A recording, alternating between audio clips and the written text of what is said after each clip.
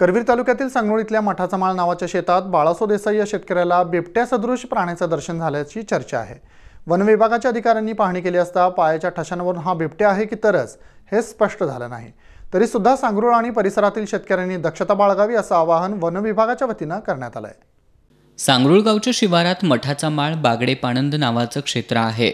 शुक्रवारी रात्री पाणंद रस्त्यावरून जाताना बाळासो देसाई यांना जंगली प्राण्याचं दर्शन झालं. देसाई यांनी भीतीनं सायकल तिथंच टाकून पळ काढला. प्राणीसुद्धा पाणंदी शेजारच्या भिंतीवरून उडी मारून शेतात पळून गेला असल्याचं देसाई यांनी सांगितलं. वनविभागाला याची माहिती मिळाल्यानंतर वनपाल विजय पाटील यांच्या मार्गदर्शनाखाली वनरक्षक कोमल रहाटे यांनी परिसराची पाहणी केली.